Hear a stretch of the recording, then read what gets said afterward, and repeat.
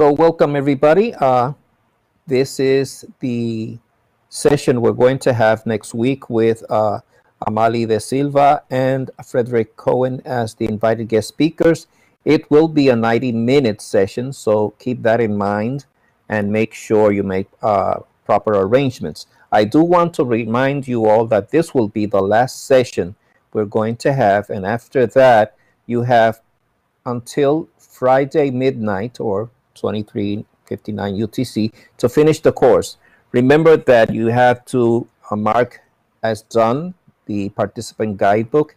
You also have to accomplish an 80% minimum in each one of the quizzes, complete the survey at the end of the course, and then you will get your certificate of completion, which will be printed out, sent to you by email, and you'll be able to see it within the course.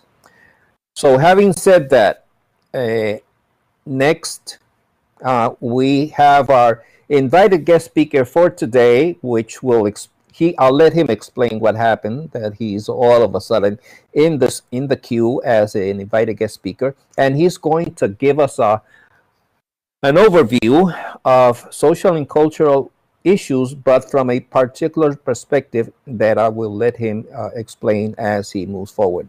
Uh, Glenn, the floor is yours. Welcome. Great. Thank you, everybody.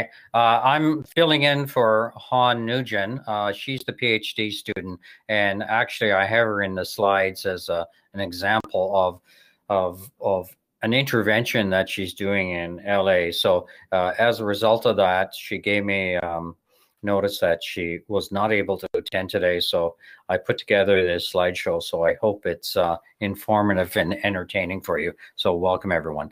And um, as we were saying in the chat before we started, some people are having difficulty getting in um, for a number of reasons, but one of the, the challenges is the uh, time zone differences. So welcome everyone. It's now uh, a few minutes past nine, so let's get started. So uh, I want to set the objectives of, of this uh, session. So I'm going to identify the problem, and it's a very, very diverse problem. Uh, I want to talk about the classifications of groups identified on the wrong side of the digital divide. Isn't you know what's what's important is there isn't one overarching group. It's a diversity of different groups with different needs and wants. Um, talk briefly about government and non-government interventions to deal and come up with um, uh, resolutions on the problem, and an emphatic statement that there is no simple solution uh, of this problem. And I'll share with you a couple examples of of uh, other types of technology that, uh, in theory, would solve a problem, but it doesn't necessarily do it. And uh, some resources and best practices. So uh, launching forward. Okay, so uh, I think we know that the the scope of the problem of connectivity is is a huge one. We're talking 3.4 billion people, even though that we've reached uh, past the 50% mark, there still is a massive amount uh, uh, of numbers of people that are not connected. And what's most important is that 93% of this number of 3.4 billion are from low or medium income countries.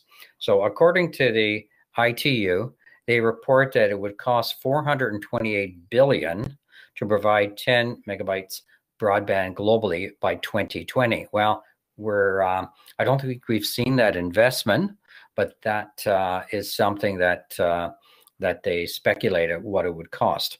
Now, over 300 million, according to, and, and I'm getting this stat from Alex Ame. She did the presentation at the Connecting the Unconnected uh, IEEE conference last week. And she stated there that only 300 million people have very high quality internet. And because it was a conference, she didn't provide any stats on that, but it's an interesting number to think about that you have an, a massive uh, disparity between those who are have no connectivity at all to people who have super fast connectivity. So the disparity between the the hyper connected to the no connection is is huge. Now, The challenge is fairly complex. It's not just availability of access. It's also very important is the affordability issues, uh, the relevance of of the the access. You know, can you live or live without it, and, and the readiness of the population to use the technology. Now, this is a very fast, you probably have seen this, this map. It just shows you uh, in the data as you go from uh, gray to the deepest blue, uh, countries that have the, the, uh, uh, the largest penetration of internet access. So you can see there's massive populations in the global south, particularly Africa and Asia, and parts of, of uh, Latin America that have very slow internet. Now, what I have to point out is is that the, from a Canadian perspective, there's a bit of um, misnomer there because the far north of Canada, and I'll talk about in my slides, actually is not a deep blue at all. Uh, and there's a number of reasons for that. So carrying forward. So let's talk about economic impact of internet connectivity. I, I think we all know that broadband can help expand the risk of task-based work through online outsourcing platforms, which are projected to provide millions of jobs and billions of dollars in revenue over the uh, coming years. So, according to the economists, they say raising internet penetration to 75% of the population in all developing countries from the current level of approximately 35% would add an additional 2 trillion US to their collective GDP. That's the gross domestic product and create more than 100 billion 140 million jobs around the world. So the argument is is whether it's a trickle down effect or or uh, other otherwise but according to the economists is the higher levels of internet penetration results in direct economic benefits so who's doing some uh, addressing the issue now? Uh, the ED for Research ICT Africa. It's a think tank out of, I believe it's it's Pretoria, but it's, it's South African. Alison Gillwald, she spoke last week at the uh, IGF session. Uh, and Research I, uh, ICT Africa is a super organization. If you go to their site, you'll see uh, a number of presentations and papers that you can access on Research ICT Africa. Um, and her presentation that she did last week at the IGF, her uh, Enrith said her slideshow would be available because she has some very interesting stats on the digital inequality and injustice. Unfortunately, I did not access that in order to provide it today, but I'm I'm assuming that her recent research on digital inequality will be posted. So I've given you the link here on Research ICT Africa, and I'm sure Sarata and and Otis are, are quite familiar with with her work. Okay, so I, I think what we need to to address is the issue of what is digital divide and what is digital inclusion, and and it basically has become a bit of a a perspective. It's it's uh, a fine line difference, but it's enough to to distinguish the two. Now, N- NDIA is an organization, the National Digital Inclusion Alliance. They've been very very big at at pushing for home broadband access, uh, whether it's urban, tribal, uh, rural, throughout the United States, and they're a big advocate on public uh, broadband access. So that's free Wi Fi uh, beyond just the libraries and, and communities, but also, um, and as I state here, it's not just access, it's also highlighting technology training, support groups, the technology in the hands of the end users. And um, as I state here, NDIA is a community of digital inclusion practitioners and advocates. Uh, and they have a, a, conference once a year. And I believe it's February this year in Portland. It was canceled last year because of COVID. Um, Alfredo, how many have you gone to? One or two? Uh, I've gone to two of them.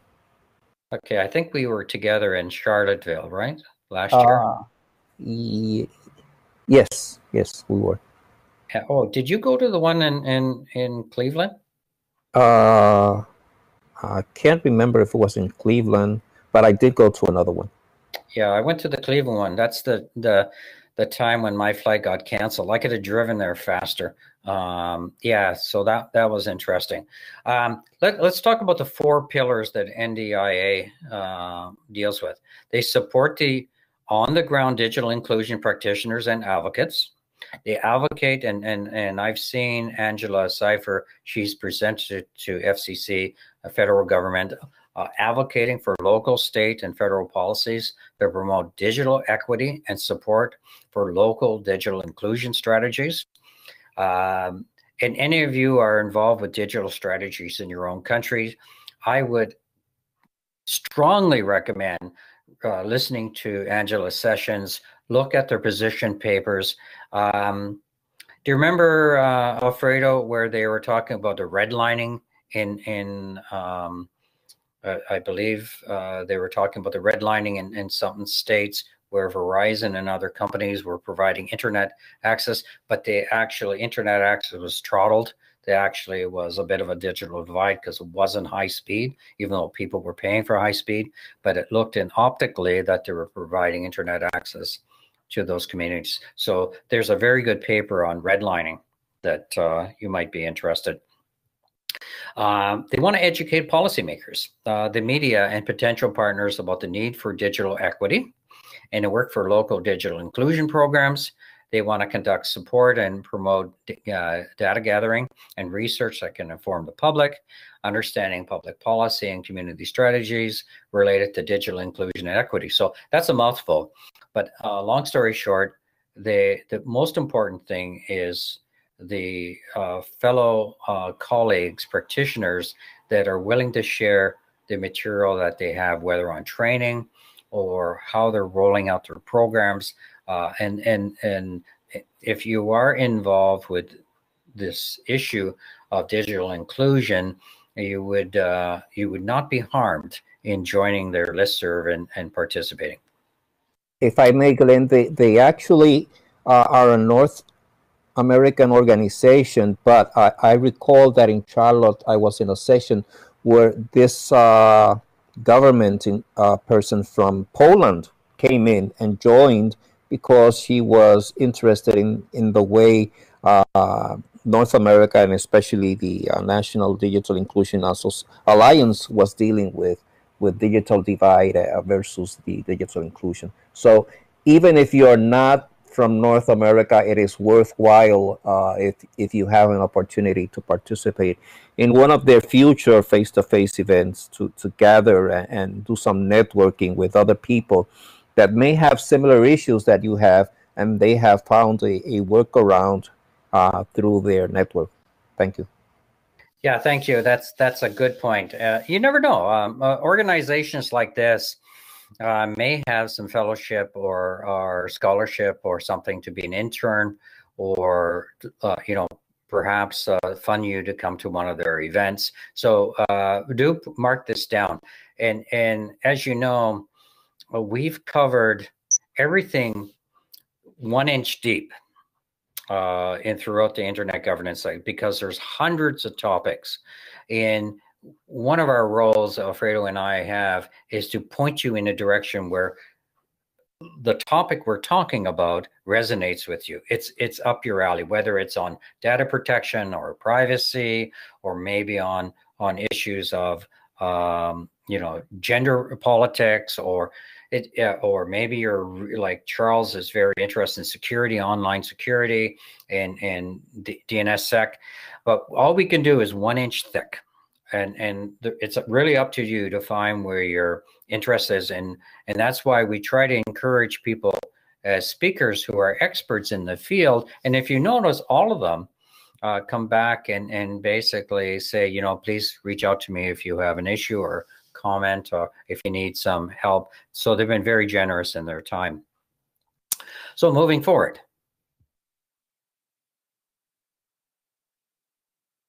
Okay so this is where it gets a little complicated. When I started to, to look at this, there is not a homogeneous group that that uh, there's one identified group.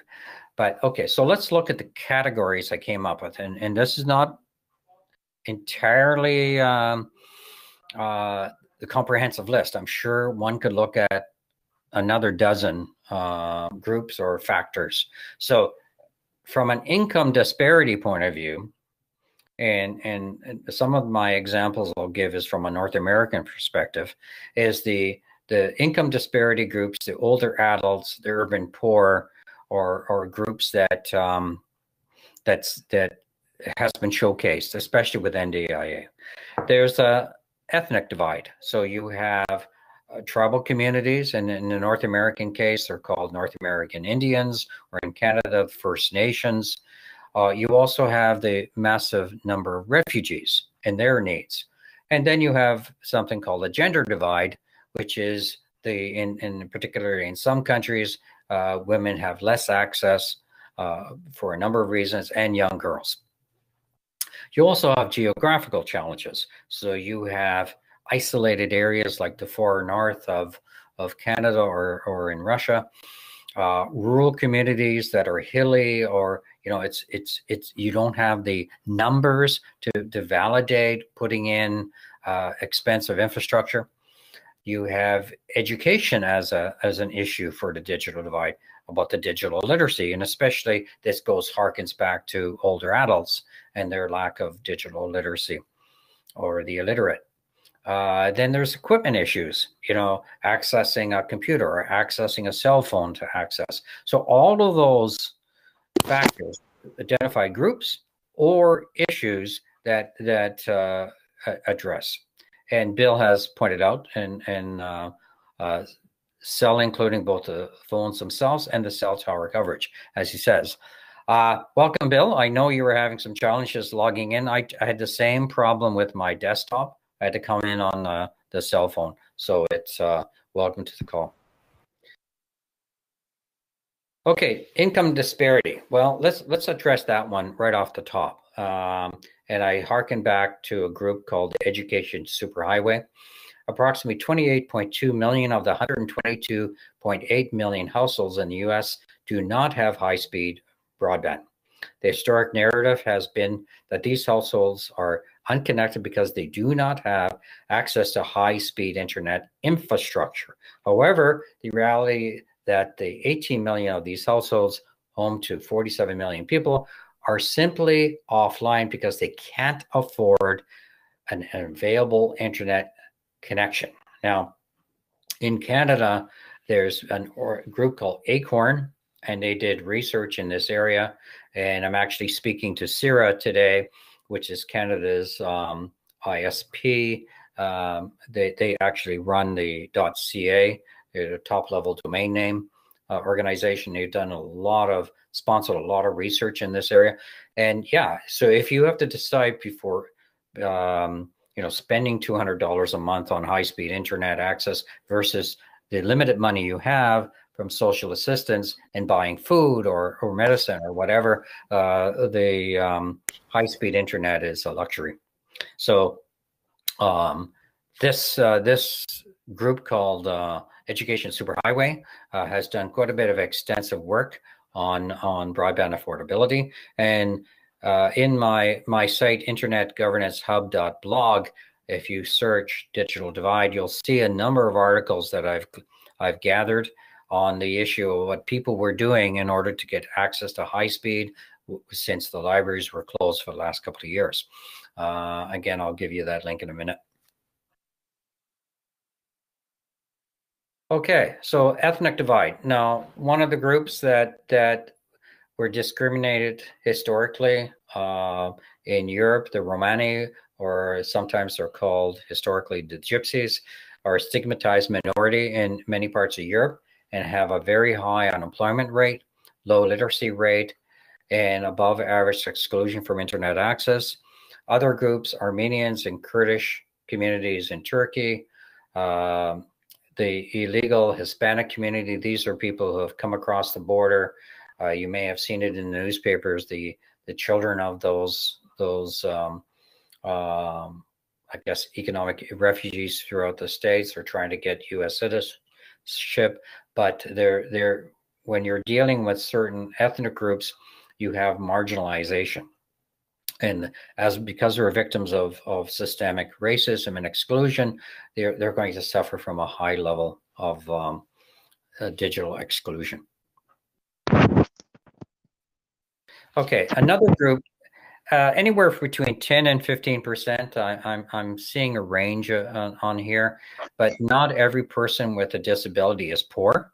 But I'm just pointing out that roughly 10% of the population have a disability. And according to Pew, the, Pew is uh, the internet um, research body out of Washington. Uh, Lee Rainie is one of their lead researchers. In fact, Lee will be part of our panel at the uh, North American School of Internet Governance coming up in a couple of weeks. And, and he reported that low income disabled individuals, uh, and in fact, and you know, when you get drilled down a little deeper, low income Hispanics or Spanish speaking uh, disabled individuals had the highest percentage of disconnected from the states, uh, from from in the United States. The rate of internet access averaged around 52%. So if you compare it with the non-disabled uh, persons, it's a massive number, and it's critical if you have a mobility disability or other disabilities. You can't get out to do that job. If you can do something remotely, and if you have access to a computer, it could be the difference between underemployed uh, or employed. So it it, it is a, an important factor. what happens with a research like this you have people like with the NDIA, an advocacy group can pick this up, and that's something that they can champion that cause. Okay, gender divide. Now, uh, gender divide uh, again is is uh, another issue, uh, very impactful on women. According to UNESCO, across 10 countries in Africa, Asia, and South America, women are 30 to 50% less likely than men to have used to the internet. And on a global level, women are 23% less likely than men to use mobile internet. Connecting those without access is often both an issue of cost as well as culture, as in the case of sub Saharan Africa. One gigabyte of data costs nearly 40% of the average monthly wage. And also, there are other barriers to use, such as lack of literacy or acceptance. Uh, all of the factors critically impair adoption and usage.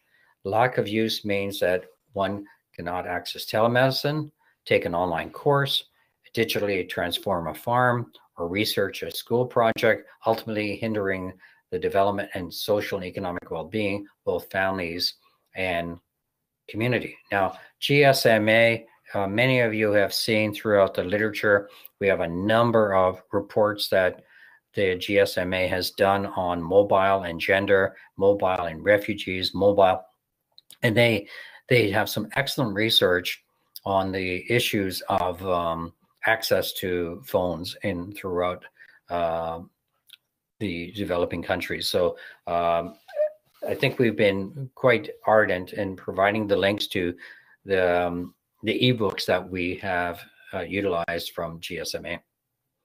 Um, Bill asked something here. I wonder how many of the gender divide worldwide is due to the education gap for women and girls. It could be interesting to see crosstabs here.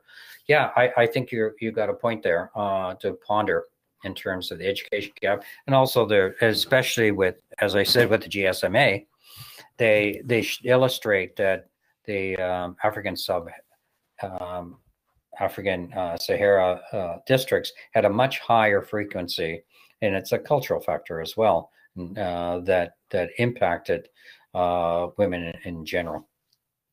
And, and, I, if I may, Glenn, uh, I invite the the participants as well to reach out to different organizations in their communities, uh, different NGOs or non-governmental organizations, and see what they are doing to deal with the gender divide if it's an issue in their country. I know that there are some regions where there's girls clubs, uh, and organizations that actually deal specifically with this issue. So reach out to them, and uh, if you deem them worthwhile to mention in the uh, discussion threads that we have ongoing, uh, please do so. Thank you. Yeah, uh, Girls Do Code is is uh, is an example of of groups that have gotten together and and and teaching girls coding. Uh, Black Girls Do Code is another group I think out of um, Detroit. Uh, yeah, so you know, my point is, it's a lot easier to to look for examples of best practice if that's of interest for you. And uh, for example, our friend uh, Dev uh, uh, Anand Tilak Singh out of Trinidad, uh, he started a, a, computer recycling project. He's been deeply involved with that. I I think it's mainly getting computers from from industry and uh, government, and he's refurbishing the computers and donating them to poor families. And he's done. Uh, I was talking to him on the weekend, and he's done exceedingly well. And and it was only about a year that he's been working on that, and it's and it's great because when you start to to create something, other people want want to be part of it. So. Uh, people provide space volunteers come in and help refurbish reformatting hard drives or changing parts, testing, and then delivering the computer. So, and I don't think he's doing any training, but then again, he could provide X number of boxes to to a location and and provide the assistance. So moving ahead. Okay, this was um, the person I was supposed to do the session today. I hope to have um, her research paper um, more extensively. Like Skid Row is a, a really poor section of LA and um, quite notorious uh, in terms of um, of the uh, the digital and economic divide that happens in the states. So she's been working with this group. She's a a Benton um, fellow uh, as well. So uh, it's we'll be keeping an eye on her project, but I was hoping to have a, a more extensive um, uh, bit of information for you. So this is what she provided to me. Uh, so please, when you get the slideshow, you can read it in more detail. So, okay, let's talk about tribal or native communities. The um, person, Soledad Mills, she works with a group called Equitable Origins.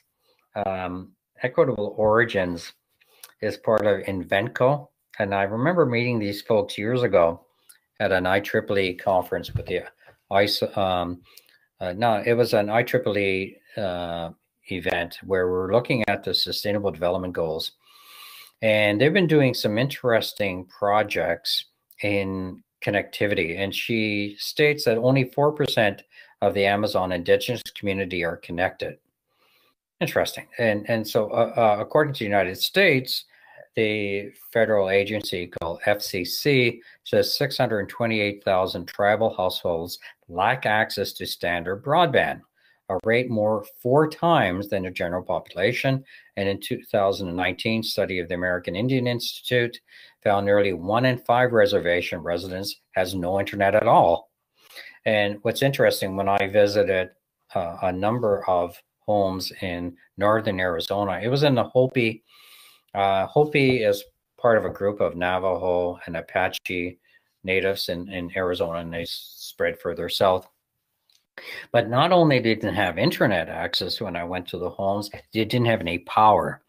So they were the kids were were doing their homework on a kerosene lamp, and um, they would get one shipment, one ton of coal to heat their homes in um, in the winter from Peabody.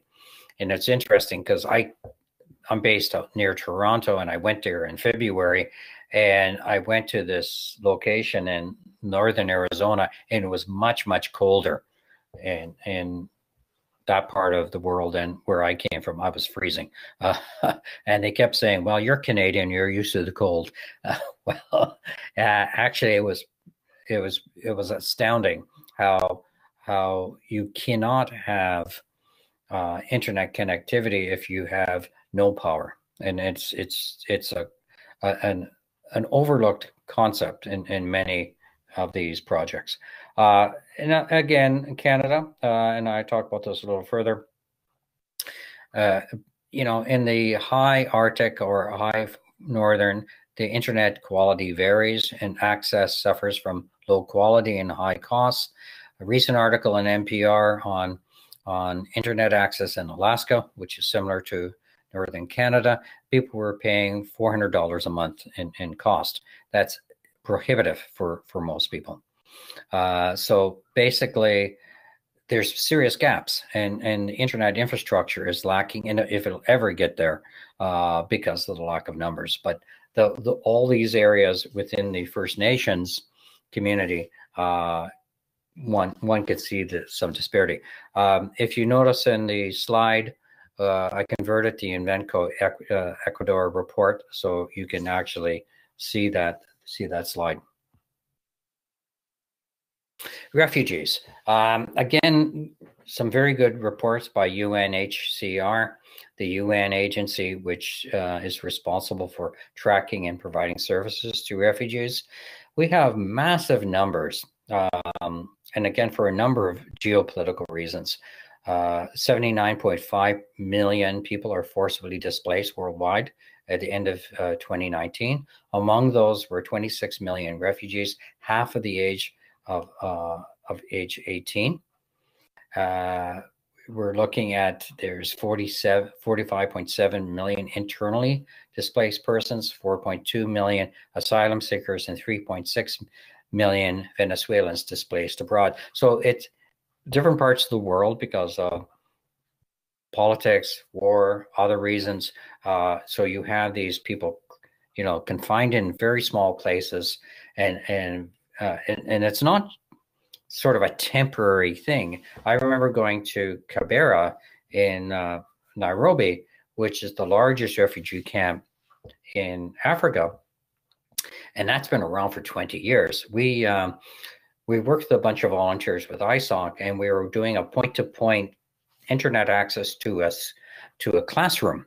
And what was um, unpleasant about the experience what beautiful people, uh, fantastic people. Where they were more than pleased that we were there to help them, and so we had the technology, and it was a point-to-point system, and um, we uh, had to do it on the second level above uh, public latrine, so which was not a pleasant experience. But we, you know, we were up on the second level, and we had to beam it to the, their main tower in order to get a point-to-point access for for the um, location. Uh, long story, but uh, we uh, we were doing that in in Kibera. That was a couple of years ago. Moving forward. Uh, Glenn, uh, before you move move on, I, I was wondering if you go back to the, the previous slide for a second. Uh, when, when we when you talk about refugees and, and we talk about the digital divide, how about the, the language barrier? Uh, these people coming into a, uh, a different country, the language might be different, the, the form of communication could be different, even accessing information could be in a different language if they want to access information online. Is that true? And, and, and what information do you have regarding that?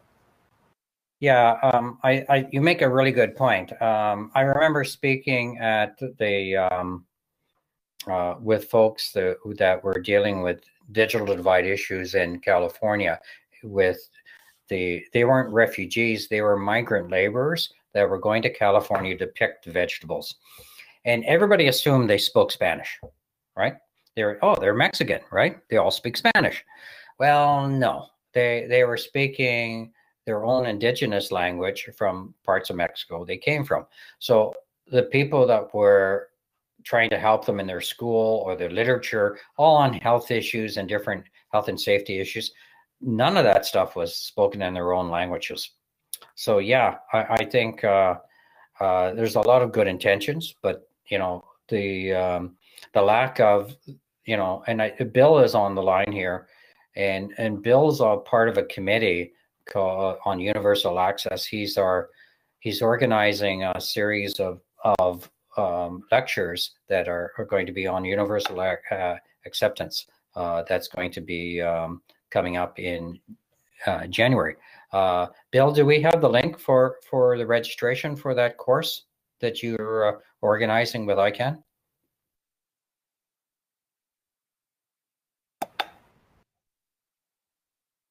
And and um, Charles has his hand up. Yeah, uh, it, I don't think they they have the, the link up yet, uh, Glenn. Uh, I want to address before I, I, give the floor to to Charles uh, a, a, comment that M Mulan makes in the chat, uh, and he mentions that if we should always make a distinction between coverage uh, synonymous to availability, and then we have another category where we talk about access in terms of device and literacy and finally on consumption consumption based on affordability and adequate content. And, it seems to be a, a, a, a, nice categorization of some of the uh, digital divide issues that we should uh, keep in mind. So so thank you for that mulan. And if you have any additional comments uh, glenn yeah, um, I address that. Uh, what I'm just giving uh, right now is just the categories that that we chop up people uh, that are on the wrong side of the digital divide uh, and and based on category. And i'll talk about in more length on the um, on the issues that you just addressed. But uh, maybe we can turn charles. Go ahead charles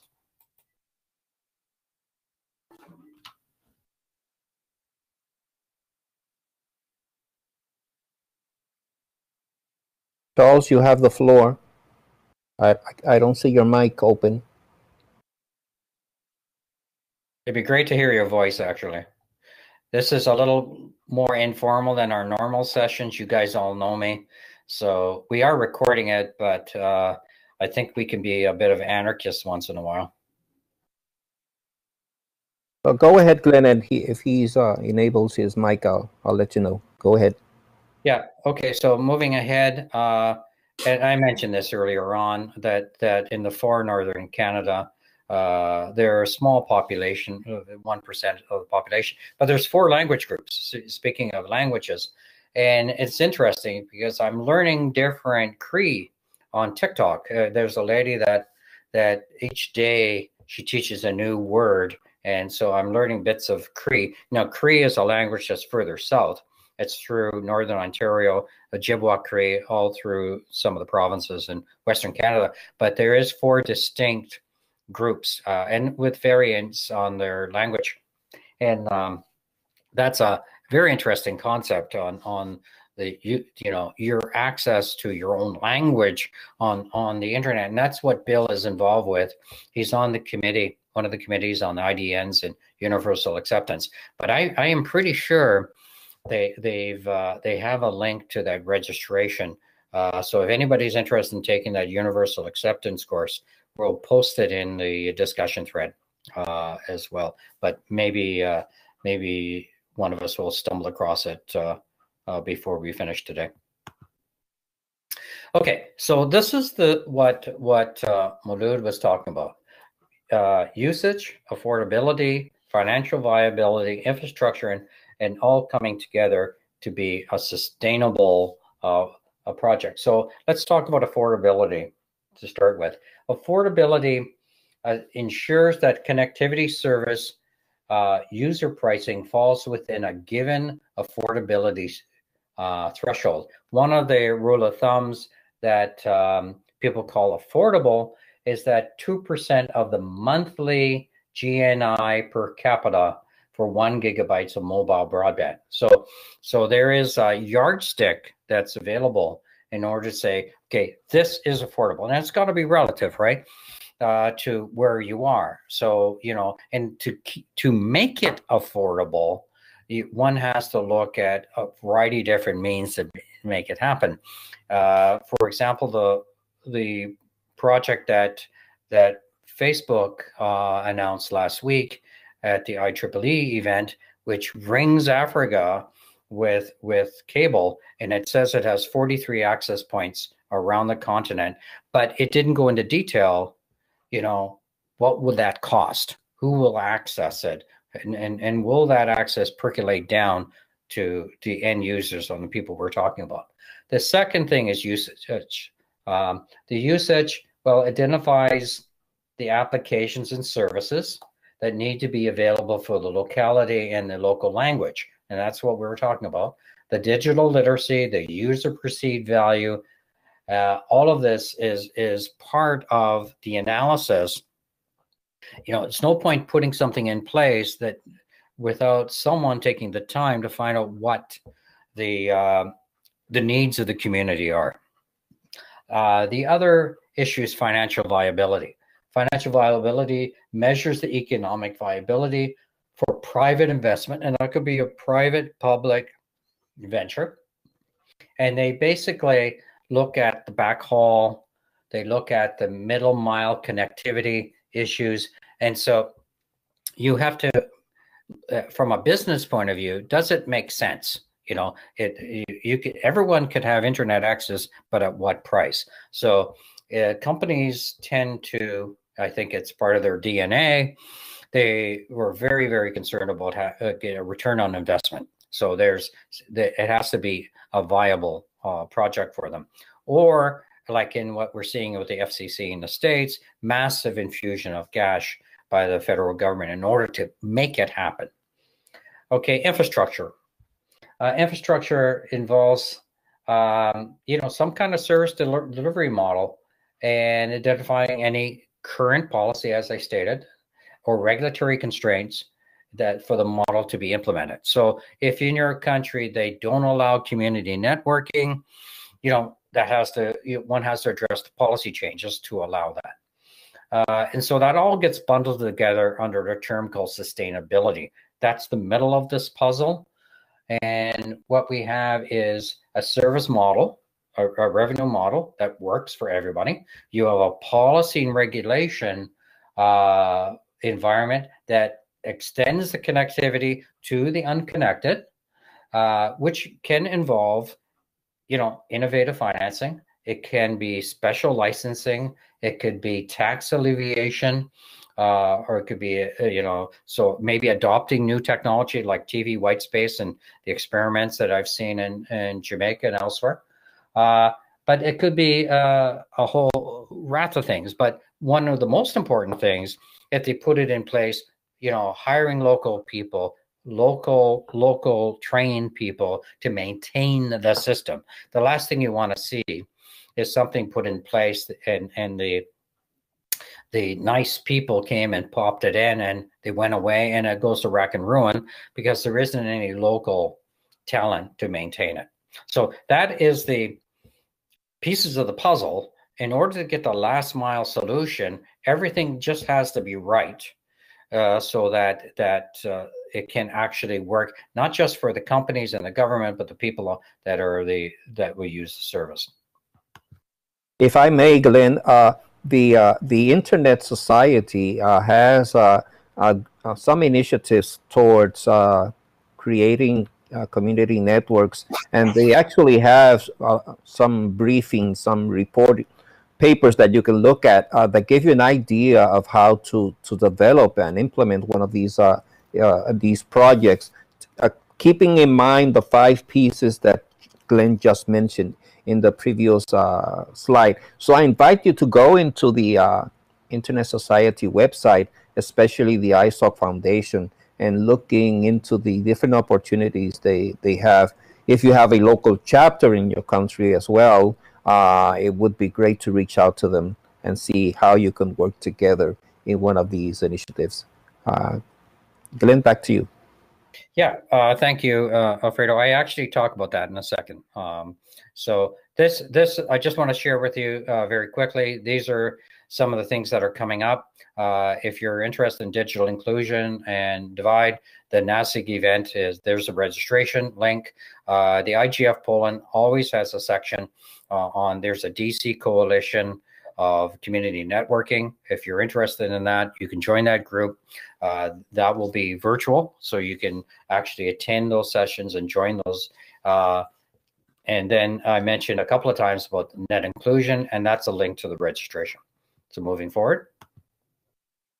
So some of the government initiatives I, have referred to, the FCC is pumping in $3.4 billion throughout the state. So you have that those tribal locations that or or urban or rural locations that, which probably would never get the high speed internet access, but the FCC policy is going to enable groups to be able to do that. You have a UN Broadband Commission, you have the EU digitally uh, strategy. You have the African Union digital strategy. You have the Latin American and Caribbean IXP strategy. You have the Asia World Bank and the Canadian digital strategy as examples. And all of these are links when you um, when you see the ebook. Um, Alfredo, would you mind popping the ebook into the the chat? And each of those links will work, and you can read up more. If you're a person that's really quite interested in influencing government initiatives and policies, this is the way to do it. Now, recently, Canadian digital strategy was a little goofy on in terms of the the social media strategy. So the Internet Society with other agencies made some strong statements in order to make that um, for the government uh, folks to rethink that strategy. Okay, so we just said a second ago about community networkings. This is a link to the ISOC community networks. You can see uh, the things that they've done. Uh, I've been involved for 10 years with the IEEE Humanitarian Activities Committee and SIGHT. I'm the chair of the Toronto SIGHT, which is the special interest group on humanitarian technology. So you could look at at them. They did um, um, maximum five thousand dollar funding uh, for COVID. They'll do that funding again. Uh, so I reviewed, oh God, uh, at least a hundred proposals. Uh, Alfredo helped me last year. We must have done half of the the proposals we reviewed. Some great proposals.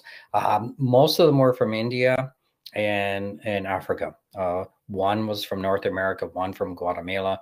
But generally speaking, the HAC and SIGHT proposals that come in are from those two locations. Uh, NetHope has done some fantastic work. Uh, there's a guy named Drury has done some great work. He um, well worth uh, looking at what NetHope has done. Association of Progressive Communication (APC), uh, again Alliance for Affordable Internet, uh, the Meta Meta uh, or Facebook, formerly known as Facebook, spoke last week at the um, at the IEEE meeting talking about what stuff they're doing. And I mentioned about the cable service that they're going wrapping Africa, uh, the Microsoft Airband projects, and the GSMA TV white space. All of these are examples of what the business or not for profits have tried to roll out in terms of digital divide issues. So, uh, again, um, that should be non-government best practice, not no government best practice. Uh, there's the link directly to the APC. Uh, and again, um, the, the, you know these organizations are very open in terms of critical feedback on what they've done. Uh, Jane Coffin uh, was one of our speakers at our event, uh, I think Group B, uh, Alfredo. so you can go back and listen to her lecture. Um, there was a community networking conference that ISOC did a couple of years ago in Kenya, but they've done it, uh, I think, virtually every year. Uh, do if you're interested in getting involved with IEEE, uh, there's a link to the IEEE Humanitarian Committee, and this is one of the most interesting. And I could probably do an entire lecture just on Guifi. This is the uh, group out of Spain on, on community networking. This is a very large scale project, and again, it's part of their culture uh, in terms of uh, uh, community projects. Um, so yeah, they they're very famous for for co-ops and and uh, so look look at the Guifi project, and I gave you the link for that. Resources. Um, again, here's a, a, few resources for you to to look at um, that you may be uh, interested in. So, and this is something that IEEE did last year. Uh, if you're interested in doing a project, you may be uh, interested in connecting with uh, IEEE. This is the video that uh, you can watch on which which organizations um, got funded. So again, if you're interested in in rolling out a project in your own country, you may want to consider looking at who who uh, who was shortlisted. Uh, again, and I and I cannot underestimate the importance of power. And IEEE um, project that we implemented a number of years ago was uh, a solar trailer system in Haiti. And that was a battery exchange system, very small, one, one kilowatt, or maybe it was a five kilowatt system. I can't remember. But 22 people in this village uh, got signed up, and each day they get a new battery and they exchange it twice a day, and it gave them basic power, uh, power to for lighting and, and powering charging their cell phones because they were in, in these this village in, in Haiti they were paying a dollar a day just for charging their cell phones from the neighborhood store. Um, so if if you are looking at putting a community networking in place, uh, do consider very strongly what kind of power system you'll have. And in addition to that, securing the system. You, the last thing you want to do is have it walk away, uh, as what happened with Engineers Without Borders in Haiti. They put a nice system in place, and by the time they came back, all the copper was stolen. Uh, so one has to be conscious of that. Um, so there's some very interesting stuff, but what we gave you here is a guidebook on how to set up your community networking manual. Okay, so that wraps me up. Uh, so as you know, this is standard stuff. So uh, over to you, Alfredo. Uh, yes, I'm looking for questions. If you have any questions, uh, uh, raise your hand or or write it in the chat so that I can share it with with Glenn. Uh, in in the meantime, Glenn, how, how do you see digital divide or digital inclusion in the next five years in terms of getting uh, more people connected that are not connected to broadband?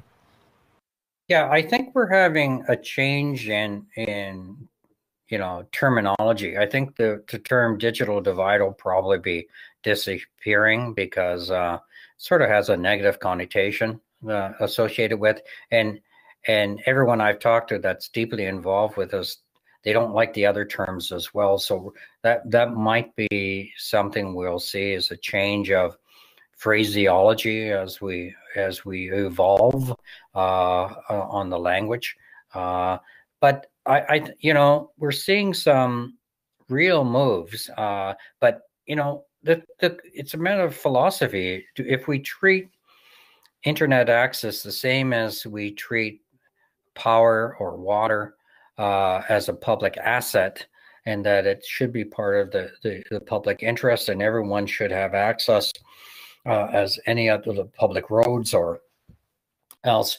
Um, and and people have, have, voiced opinion that broadband is a human right. Um, so it's a philosophical shift. Uh, uh, and it's question of, you know, what are we doing uh, in order to assist those individuals to get access. And and i think it's a wholesale change in attitude that needs to happen. And um, you know i'll give you a good example and I, I know it sounds a little quirky example but you know we had um, in california uh, bob uh, bill could probably relate to this a real serious water shortage. And so how could they prompt homeowners to change their toilets and, and water saving devices. And what they came up with as a solution, they said to contractors, you go door to door, you change people's toilets for nothing, you know, so they have no reason not to do it. They get a brand new water efficient toilet and other devices and shower heads and various different things, and they get credits. And so that allows them to go and get building permits from their municipality. So there's an example of of a clever way to have a you know a, a business intervention for a public good because you know the water saved because of those interventions were substantial. And so you know what's it cost? Well it basically is you know education of those contractors and making it when they came said okay here's my plans. I need a permit to build this house well, do you have any water water credits? No. Well, get your staff knocking on doors, you know. And it it was quite proactive. Uh, so I yeah, in my view, we got a long way to go. We still have a substantial number of people, and we're not talking an 80 20 rule, we're still talking massive number of people. We may get some minor access to a lot more people to give them the level of internet access that is in Singapore or United States or whatever. I think that's going to be tough. Um, I, I, think the balance between affordability and financial payback to companies, enough money from whether it's UN agencies or or not for profits, there's limited money uh, out there. So I think it's going to be a real challenge. The the thing is where the the areas where individuals uh, are not going to have an intervention. There's no government uh, monies. Some communities need to take it on themselves and create a community network, which has been done. Uh, communities, and, and, there's good examples. I believe the uh, I didn't get a chance to talk about the solution that's in Argentina. The Libre Router uh, group out of Argentina has done some very interesting stuff. And what it is, is they take it upon themselves with sweat equity. They build their own towers, they get people to sign up, and it's a cost effective way to give people in that small community access. And what's critical too is they teach people how to maintain the system. So that that I think is is going to be needed. I think we'll need to roll out a lot more community empowerment where communities own the community networks. They are responsible for it. They may just need a little cash infusion in order to, to get it uh, to work. Um, there's a guy named Pullen uh, who's done some interesting stuff in the States where they, they don't philosoph- philosophically believe giving handouts. It's a payback approach, might work. Um, but I, I, don't think there's one solution. Uh, so, Sarata, you say interesting projects here in Ghana. Okay. On connectivity, it's still not easy and quite expensive broadband, right? Uh, any lead to organization will support digital education, especially with focus on young women in STEM or entrepreneurship. Excellent. Yeah, I think the content is is another element in this. Is that you have to have stuff online that's relevant and current and good quality uh, so that people get value. Uh, and again, it's the killer apps, right? So uh, back to you, Alfredo. Uh, well, I, I don't see any more questions. We're reaching the top of the hour.